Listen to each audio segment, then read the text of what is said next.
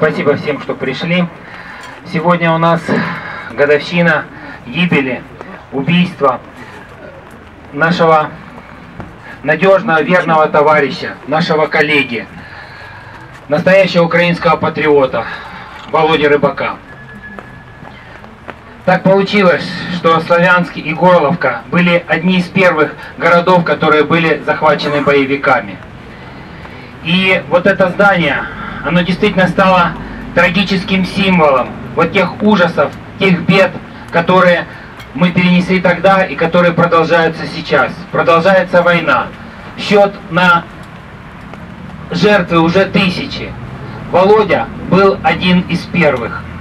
И своей смертью он, ну, многим нас спас жизни. Ну, лично мне, например, действительно спас, потому что когда э, я увидел, что они с ним сделали, я понял, что никакого мирного урегулирования, то, что тогда называлось конфликтом, просто уже не может быть. В этом здании действительно находились сотни наших людей э, под арестом, их допрашивали, пытали. И сегодня мы открываем мемориальную доску Володе Рыбаку. Но это доска памяти по всем тем, кто перенес здесь ужасы и пытки, кто погиб тогда. ни слава, ни воля, ще нам, браття українці, усміхнеться мужа. Вот без дома. Вот без работы. Но, увидев сегодня такое количество людей, я искренне благодарна каждому, кто в это время нашел возможность приехать сюда и почтить память погибших здесь. Я благодарна в первую очередь мэру города Славянска, который вместе с Александром Ярошенко 23 квитня 2014 года помогал, помогал мне вывозить тело Володи отсюда. Благодарна ему за инициативу открытия этой мемориальной доски. Я благодарна каждому, потому что считаю, что все присутствующие здесь, все патриоты, все доказали, что нас не сломали, не сепаратисты, не те обстоятельства, которые появились в нашей жизни, что несмотря ни на что, или вопреки всему этим обстоятельствам, этому неожиданному отношению к нам правительства, мы выжили. И дальше будем жить, и мы будем бороться. Мы будем отстаивать наше человеческое, наше человеческое достоинство, достоинство всей Украины. Несмотря на эту парадоксальную политическую ситуацию, я думаю, что придет время, и все, кто причастен к этим жертвам, жертвам, которые сейчас гибнут на, на фронте наши ребята, все будут наказаны. Я в это твердо верю, и я этого очень хочу. Я думаю, что присутствующие здесь тоже приложат к этому усилия, чтобы это кровопролитие больше никогда не повторилось, и больше никогда не плакали ни жены, ни мать, ни дочь.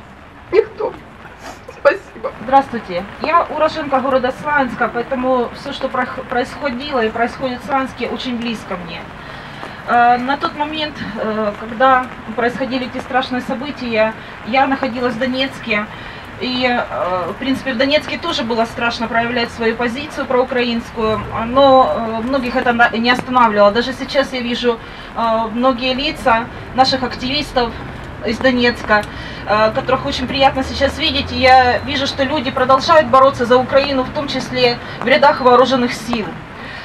Э, что касается Владимира, на тот момент мы не были знакомы, но поскольку я активно отслеживала, что происходит э, на Донбассе, я уже на тот момент понимала, что происходит что-то страшное и веет войной.